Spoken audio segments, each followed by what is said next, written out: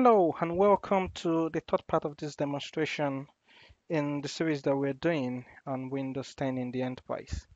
So in the very first demonstration, we showed how to create a custom boot image using Windows 10 ADK. So in that demonstration, what we did was we created a custom boot image. We made one. We injected some drivers into it offline, and then we added some extra components into it. So then in the next demonstration, what we did was we created we created a custom answer file. And what we did with the custom answer file was we used that to uh, automatically deploy a reference image and all that it's, it's in our previous demonstrations. So we'll carry on with that um, in this particular demonstration. So again, this is our setup. We have a, a client machine here called Learn Client 1, which is the one that I'm using for um, the administrative tasks I've been doing so far. Then we have long Client 5 here, which is basically our reference computer. So long Client 5 being our reference computer, it's the one that we deployed our operating system to. So right now I'm on long Client 5 and what we'll be doing is we just quickly confirm that um, the settings that we put in our custom unattended file have been applied to this deployment. So this just completed and I'm just logging into it for the first time. So again, if you remember in the last, uh, when we were creating the unattended file, uh, we set a local account. So we created a local account um, in the unattended file. And and the name that we call the account is admin. So that's what you see at the beginning. So what I'll do is I'll pause this process because it might take a while, even though it's saying this won't take long. It will actually take a while. Uh, and then I'll continue the recording once we're fully logged in. Okay, so welcome back. So um, the login just completed.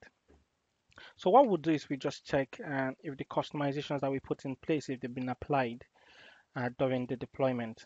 So one of the things that we did was we added the Hyper-V management uh, console. So let's just have a quick look at that and see if that's applied there. So let's go under control panel.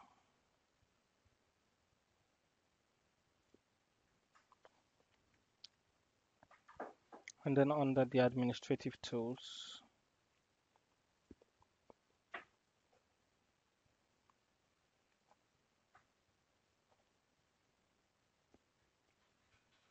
And here we go. Yeah, we can see Hyper-V Manager here uh, installed. So this is not something that's added to the Windows 10 image by default.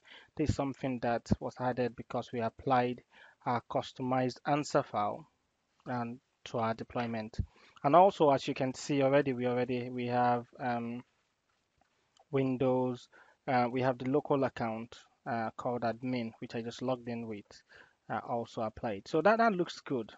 So um, that's really nice. So but in this case, what we've deployed is we've deployed something called the reference image or the reference computer. How I'll be doing with this reference computer is um, what you typically do is you make all the customizations that you want in this um, on this computer and then you capture this image then you can use this as your base deployment so you make all, all you make all the base customizations that you need on every computer within your environment and then capture this and then you can use the image to deploy multiple computers. So um, again, just to reiterate what we've done so far, we've created a custom boot image, we created a custom answer file, we use the custom answer file to deploy a reference computer, which is this computer. Then we're going to move to the next step, which will be to capture um, this reference computer, to capture the image on this reference computer. Now here's an interesting one. The custom boot image that we used in the beginning is what we're going to be using to custom to capture uh, this custom uh, this reference computer.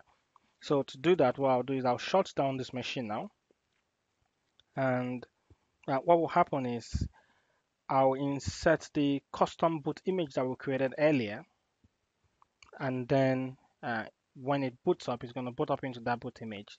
Then we can go ahead and do the capture. But uh, actually, before I proceed with that, there's a few things that I need to do before shutting this one down. So I won't just go ahead and capture it now. Um, I have to first of all um, sysprep it. So which means I remove um, any uh, customizations that could cause issues in the future. So things like the um, SID of the computer will be regenerated and a couple of other things. Um, the host name of the computer, stuff like that. So sysprep is something that's been around for a while. So you typically find that on the, the C drive, under Windows, under System 32, Windows, System 32,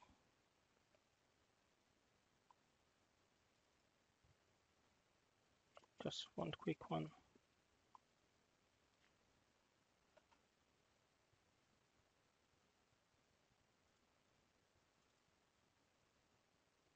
Yeah, that's the auto file that we used. and then we go on the sysprep. There we go.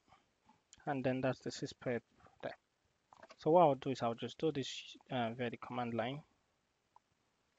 Run this as an administrator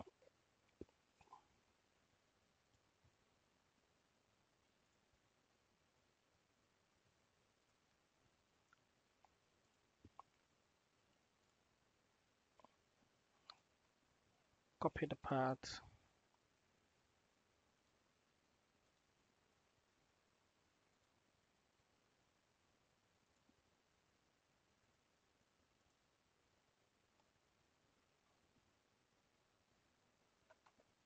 in quick edit mode, so that's good.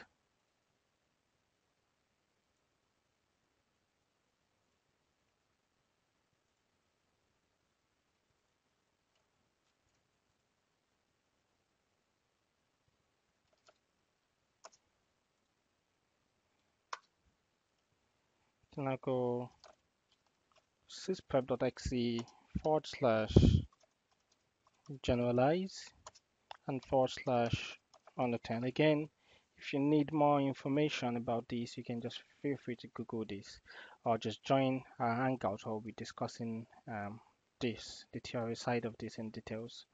So sysprep.exe generalize uh, unattend.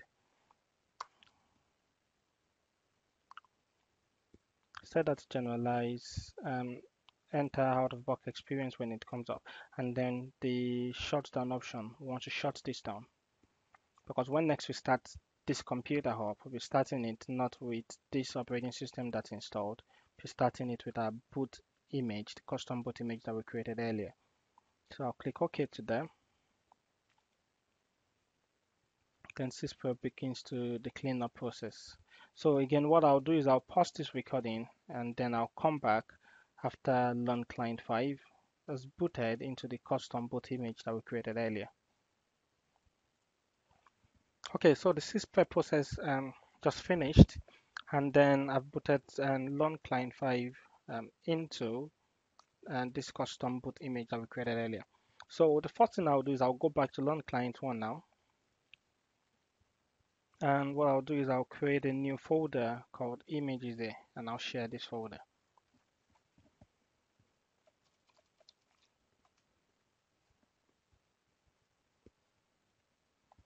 and then I'll go ahead and right click on it and go share with specific people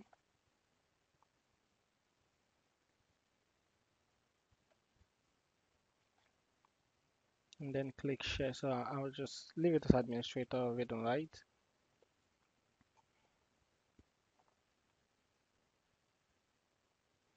and that's shared under this um, UNC path learn client one backslash images.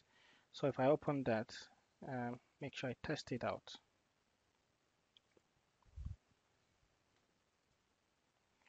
Backslash backslash learn client one, and there is images there. So what we'll be doing is this is the location that we'll be saving the captured image um, of learn client 5. So I'll go back to learn client 5 now. Uh, the first thing I'm going to do is I'm going to mount the and the folder that we shared. I'm going to mount it to um, a drive on this machine. So the way I would do that is I would say net use I'll use the G drive and I'll say backslash backslash long client one backslash images and I'll specify the user to use to mount it. So that'll be editor backslash administrator. I'll enter that. It's going to ask me for the password of the administrator account. I'll enter the password and it's completed. So if I do dir yep, so I can see that that's been mounted, that exists. So the next thing will be um, capturing this, um, the image on this computer. Now, typically, you know, your image um, within your Windows environment will be the C drive. Typically, you can you can modify that or change that. But in this case, booting up with this um, boot image, we need to find out where that's been mounted to. So if I go um,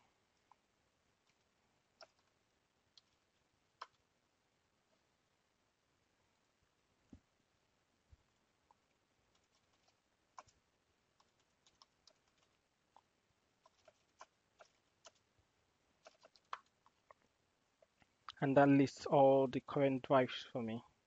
So you can see I've got the A, the C, the D, the E, the G that we just mapped. And then we have the hex uh, where the boot image is mapped. So if I go, or is put, the boot image is mounted. So if I go to um, D, I have a, yeah, not ready. So we know it's not there. And there I have C, file not found, content found well, so we know it's not C. So here I have the there we go. So we can see these are Windows file systems and that's where it's mapped. So that's what we'll be capturing in this case. So the command that we'll be using to capture that we'll be using a tool called DISM uh, which is um, a component that's in this boot image. If I go DISM forward slash capture image forward slash image file g backslash win10.wim and forward slash capture directory. D now say forward slash name.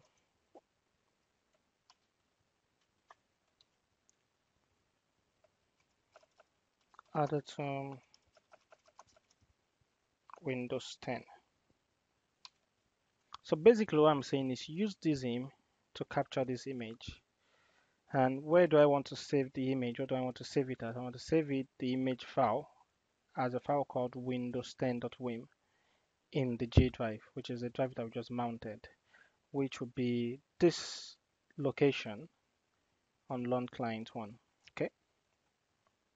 Um, and then what I've said now is what do I want to capture? So I need to spell that right, otherwise that will fail. So I need to put the P there. Capture dir. So I want to capture the D directory which is the um, location where the operating system that's installed on this machine is mounted. And then um, the name of the image. So within the image file we'll have to give the image a name. So we'll call that out on Windows 10 and then I present after 10 after it present after that.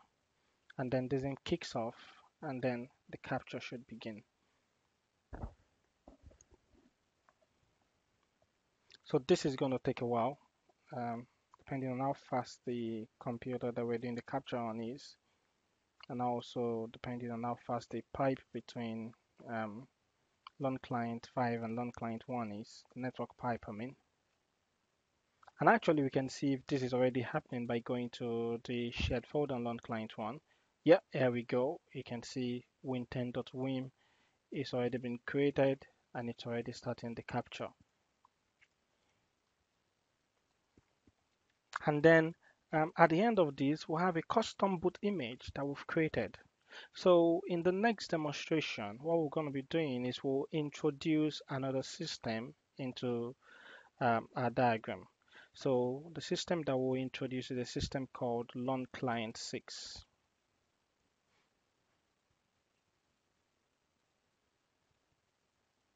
And what will happen is Learn Client 6 will be the machine that will deploy the image that we just captured. We'll have to deploy it to this machine.